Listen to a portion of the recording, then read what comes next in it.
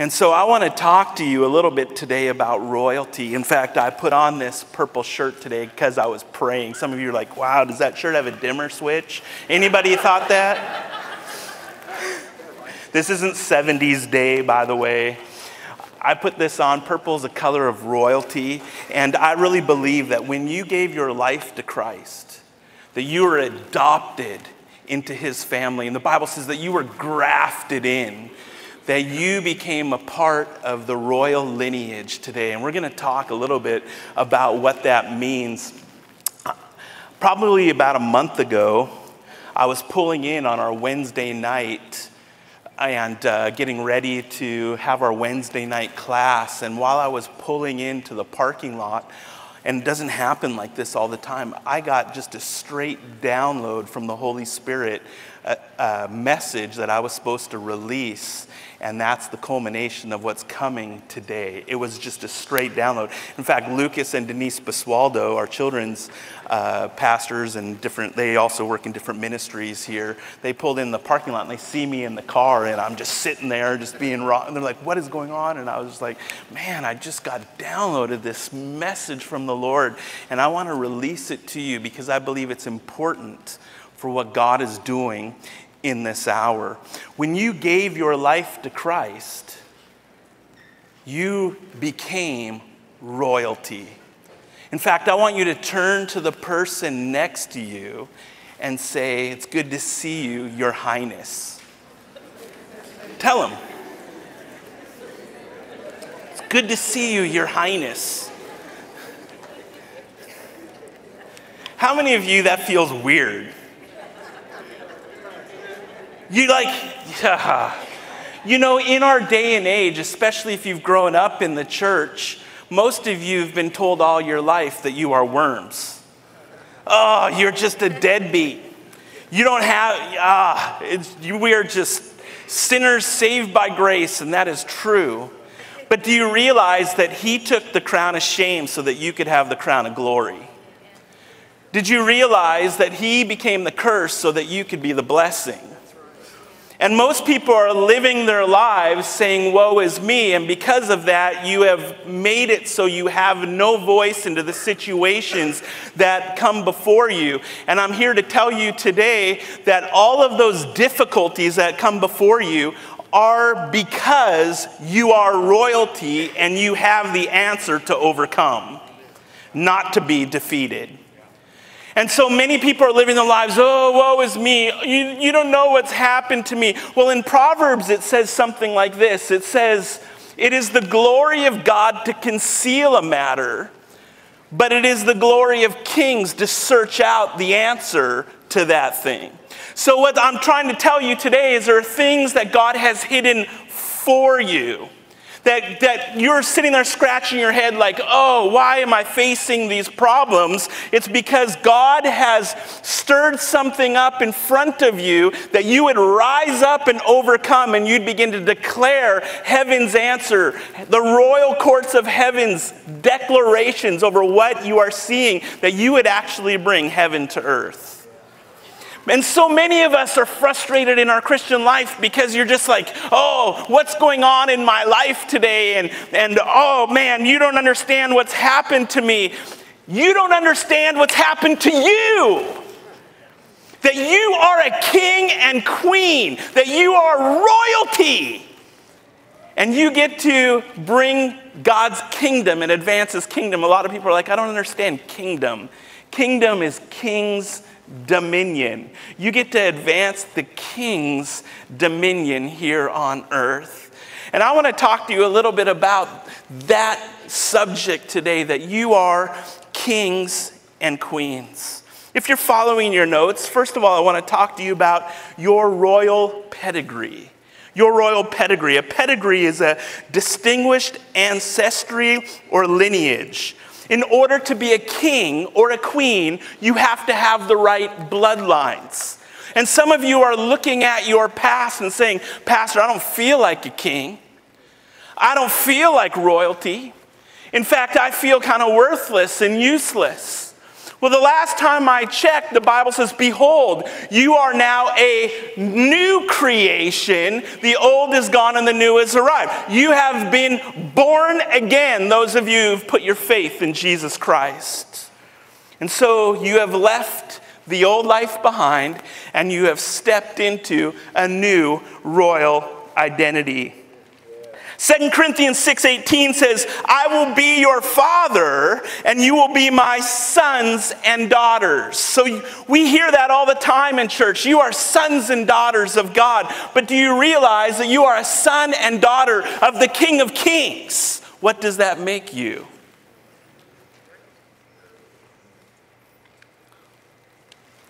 We hear from the pulpit that we are joint heirs.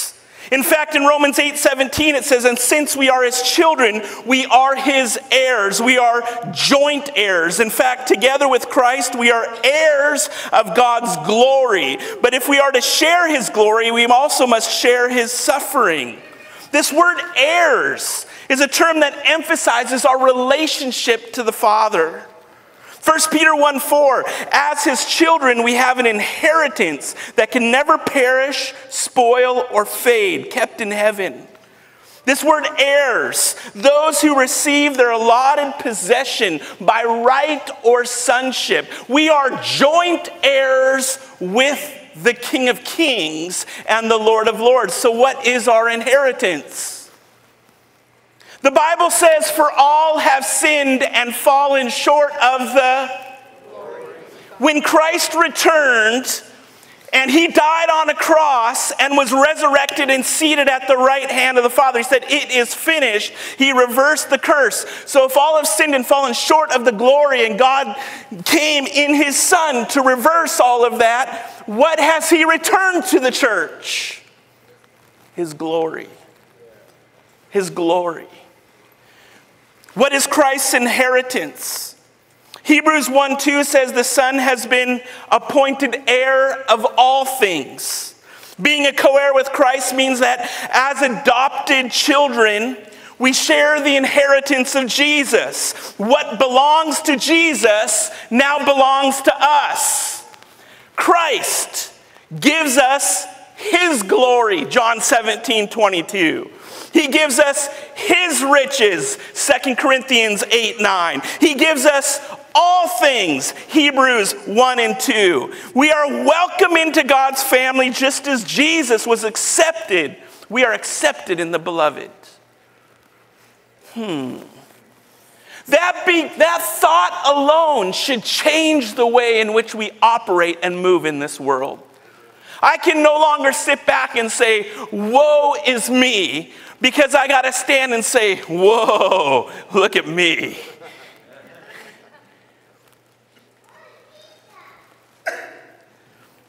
Second Timothy 2:12 says, "We will reign with him."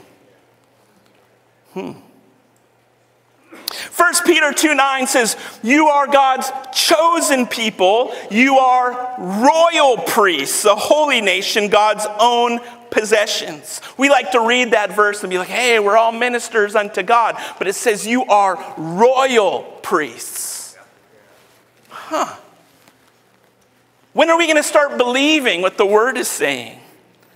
Revelation 1 6 says, if you read this in the New Living, and that's where I normally preach out of, it says, He has made us a kingdom of priests for God his Father. All glory and power to him forever and ever. He has made us a kingdom of priests. But when I looked in the Greek, the better translation of the ancient language, you can find it in the King James Version, says, He hath made us kings and priests. Oh, Pastor, I'm just out there trying to minister, but I don't know what to say and what to do. I'm just kind of walking through this. You don't know who you are.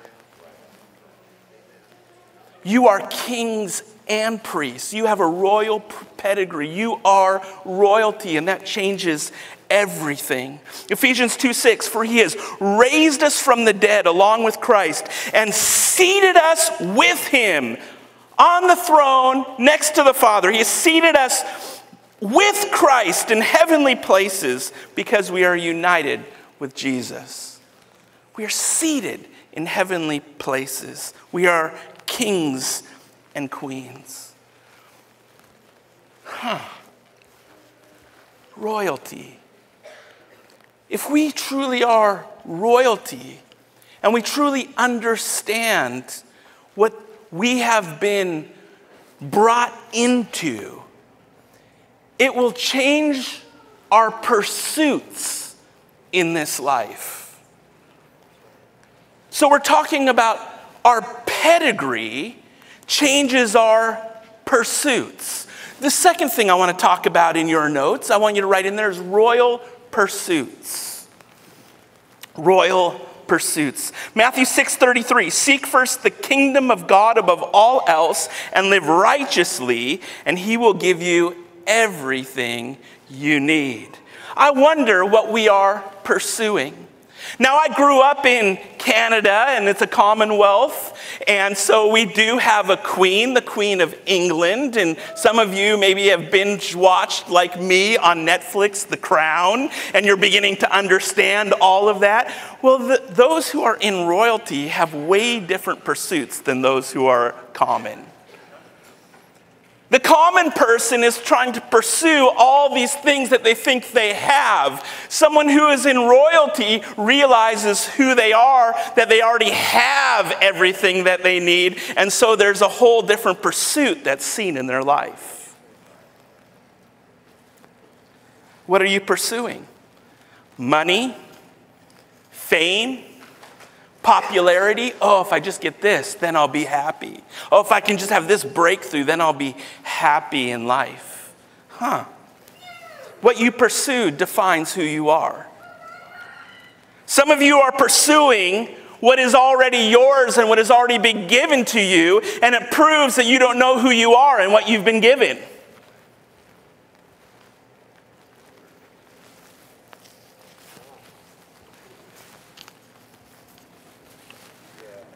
I want you to write in the royal power. Royal power. God gave you power and he wants you to use it. Philippians 4:13, for I can do all things through Christ who gives me strength. I looked into the Greek, I looked up that word all, and do you know what it means? All. Oh, I can only do some things. Oh, but Pastor, you don't know the walls that I'm coming against, the obstacle. You can do all things through Christ. Matthew 16, 19, I will give you the keys of the kingdom of heaven. Whatever you forbid on earth will be forbidden in heaven, and whatever you permit on earth will be permitted in heaven. You have been given authority and power. He says, I've given you the keys. Acts 1 8, you shall receive power when the Holy Spirit comes upon you, and you will be my witnesses. I have clothed you with power walk in power. We're commanded in Scripture to keep being filled with this power over and over and over again. Power, royal power. Ephesians 3:20 Now all glory to God who is able through his mighty power at work within us to accomplish infinitely more than we might ask or think. Power. You have been given power. Oh, I feel so weak. I feel like I can't do it. I feel like I'm being crushed. I feel like you've been given power, clothed with power from on high, royal power. Secondly, you've been given royal pleasure. Oh, here goes that prosperity teaching again. Because we're not supposed to have any joy. Last time I checked, the scripture says the joy of the Lord is our strength. We've been given royal pleasure. God wants you to have pleasure. In fact, when He created Eden and Adam and Eve before the fall of mankind, there were pleasures like no other. God wants you to enjoy the fruit of the kingdom. Psalm 16:11 You will show me the way of life granting me the joy of your presence and the pleasures of living with you forever. Psalm 23 6 Surely your goodness and unfailing love will pursue me all the days of my life. His goodness, His love, it's pursuing me. Ah, I just need to stop and let them catch up.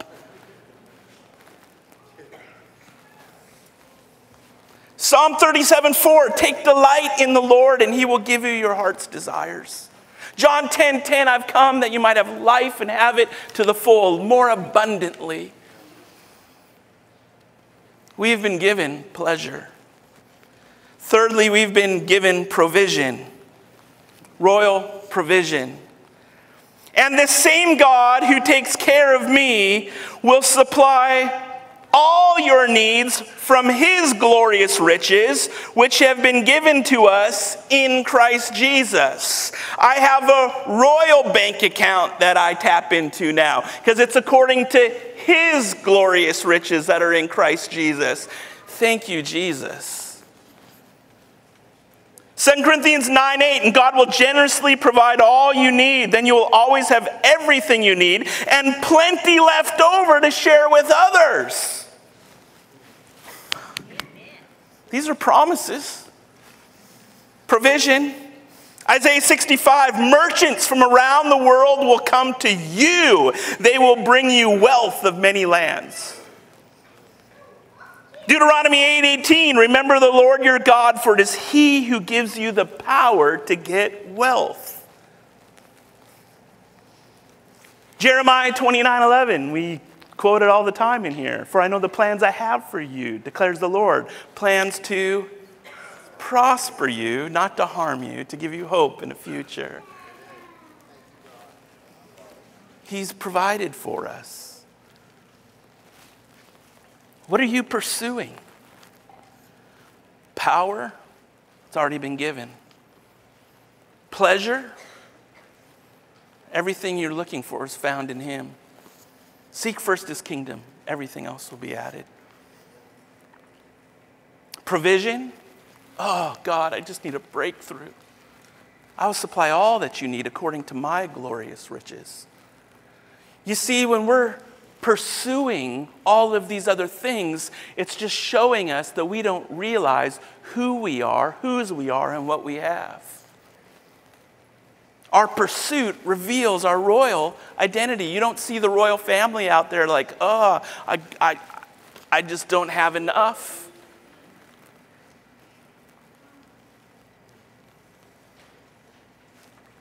So there's a royal problem.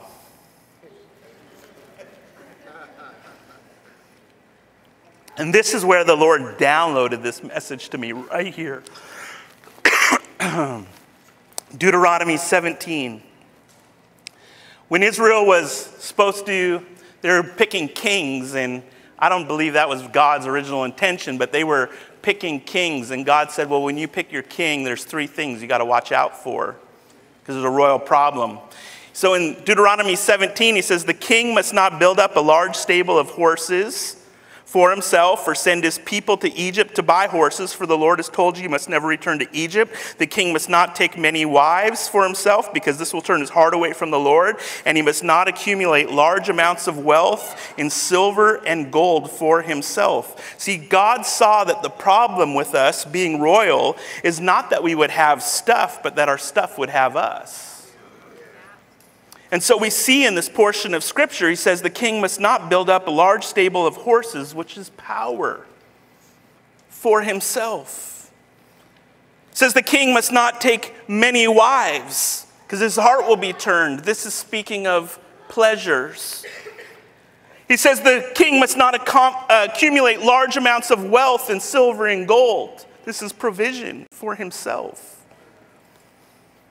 And I realized something that the Lord was speaking over us. In fact, the original title of this message was Beware Kings and Queens.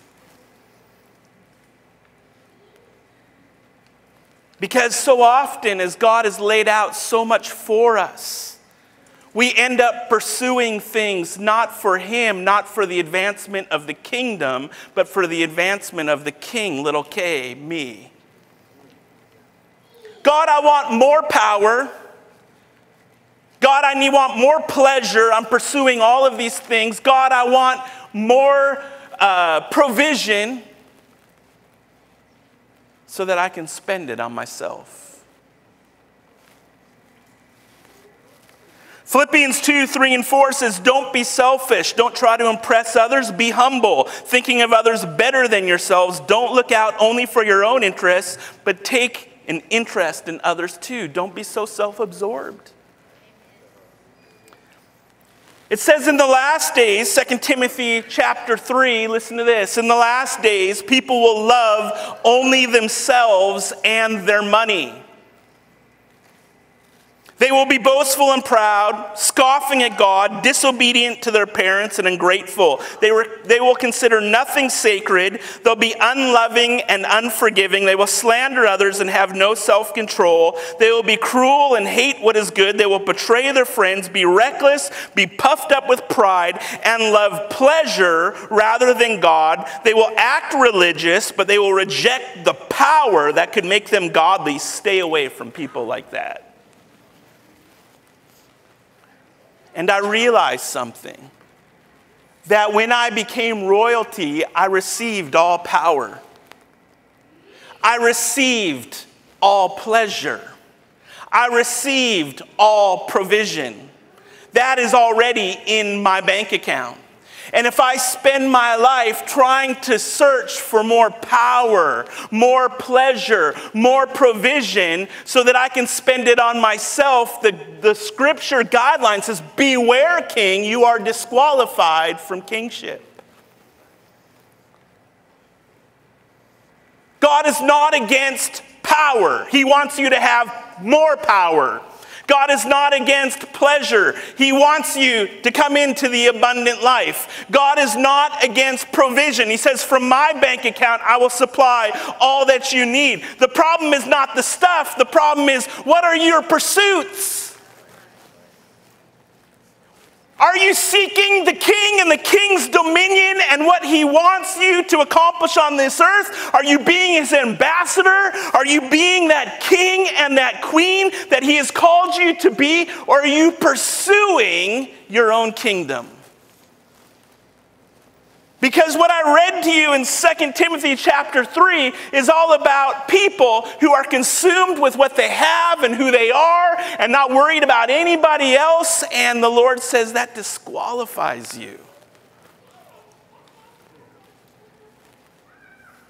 You don't know who you are, whose you are, and what you have, and it's all revealed in your pursuits. So, what should be our royal position? Well, Ephesians chapter 2, verse 10 says, We are his workmanship, created in Christ Jesus for good works, which God has prepared beforehand that we should walk in them. What is this verse saying? The verse is saying that we are working royalty that we are not royalty, kings and queens, so that others can come serve us to build our own kingdom. We are royalty in this hour. We are working royalty, positioned to lift up others into what you have. Oh, I just come to church and I hope the pastor says something good today because it's all about me. Not meaning that there may be someone sitting in the back that God has a word for. Oh, I've heard this all before. Well, good for you. It's all about you. Oh, I just hope they sing my favorite song today. Oh, I hope that they, we get out early today because I got things. Oh, I hope that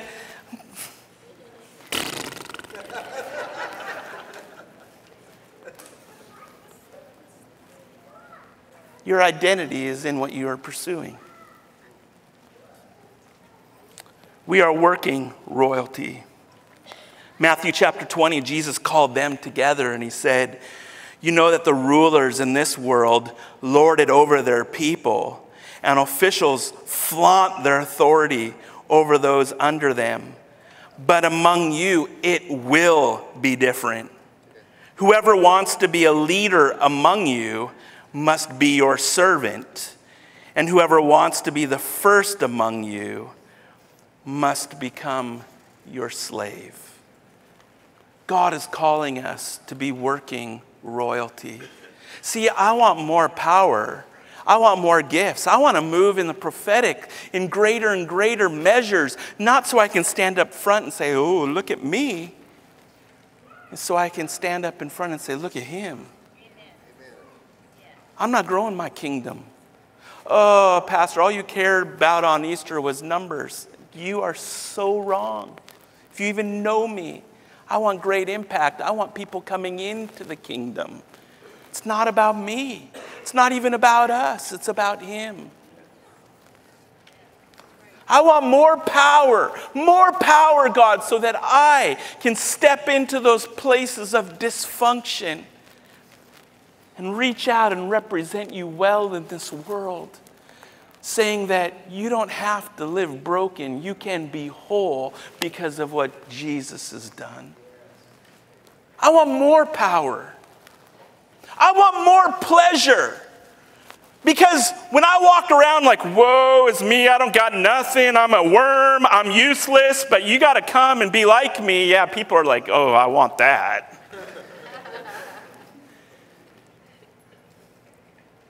I want people to know the joy of what it is to come into relationship with Jesus. I want people to know the, Oh, when you come into the presence of the Lord, how your heart is just enraptured. In His presence His fullness of joy. That you've been wandering and pursuing and running after all these things in this world, and you can just stop and look into Jesus and find all that you need. And as I seek first His kingdom, everything else will be added. I want more provision. Doesn't mean that I'm not never gonna I mean, there's times where Tanya and I are like scratching our heads how are we going to pay that bill? But I can't afford myself to worry about something He's already provided. He said He's going to provide all of my needs. And when I'm stressing over something, it just proves that I don't know whose I am. I don't realize that my stress and my worry is an indicator that I don't know my Father like I think I do. When the scripture says, I will never leave you nor forsake you, when it says, I am faithful, when it says that I will supply all of your needs according to my glorious riches, do you believe him?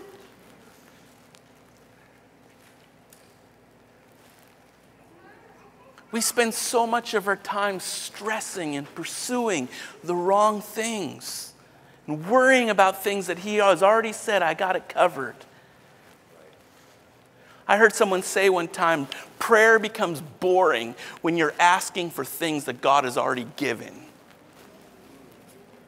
But prayer becomes exciting and an adventure when you realize that it's all about me connecting to the heart of the Father and dragging my inheritance that's stored up for me in heaven, dragging it down from heaven to earth in this moment, that I can partner with my dad and realize that there are great things that we are supposed to do here on this earth, right here, right now.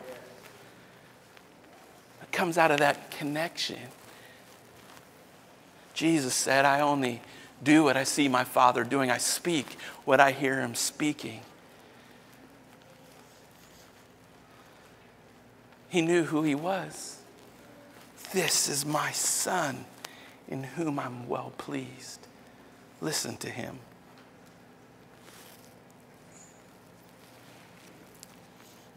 Philippians 2 5 through 11 says, You must have the same attitude that Christ Jesus had. Though he was God, he did not think of equality with God as something to cling to.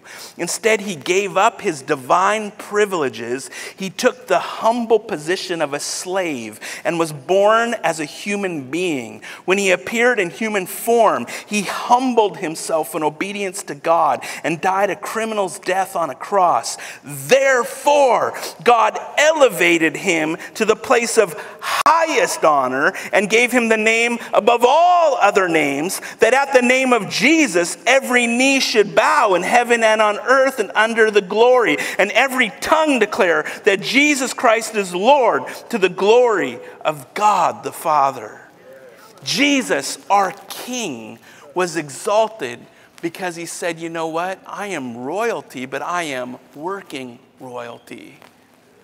And there are too many of us who are like, we've become consumers in the kingdom. And that's what it says in the last days. They're going to get itchy ears running here and there, looking for whatever they can consume, whatever their itchy ears want to hear. I can go to YouTube, I can go Bethel TV, I can go here, I can go here. And again, I'm not against any of that, but your pursuit shows me whose you are. Are you serving and producing and advancing the kingdom?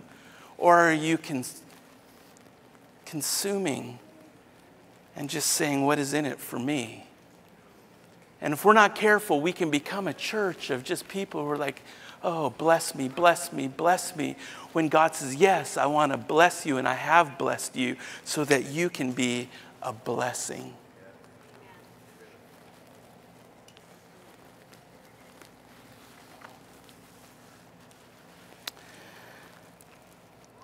Revelation 4, the 24 elders fall down before him who sits on the throne and worship him who lives forever and ever. They lay their crowns before the throne and say, You are worthy, our Lord and God, to receive all glory and honor and power.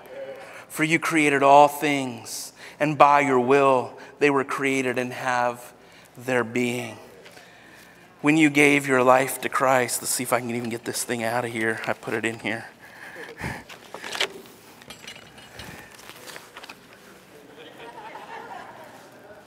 When you gave your life to Christ, you got a crown. And I think in the church, we walk around admiring crowns that those in heaven next to the throne take off and cast at the feet of Jesus because it's only because of what he has done in and through us.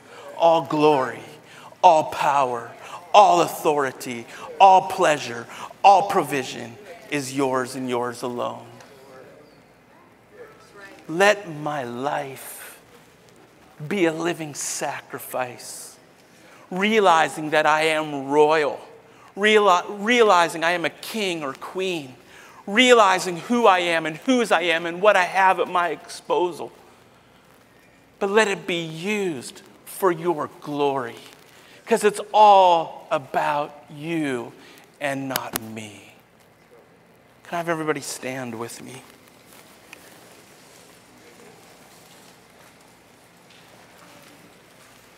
I want you to bow your heads and close your eyes for a minute as I land this thing we have a royal problem. The king must not build up a large stable of horses, power for himself. The king must not take many wives for himself. The king must not accumulate large amounts of wealth in silver and gold for himself. I have been blessed to be a blessing. And God is calling his sons and daughters, the kings, the royalty, to go out into the world and let your light shine as royalty, not as paupers, as royalty,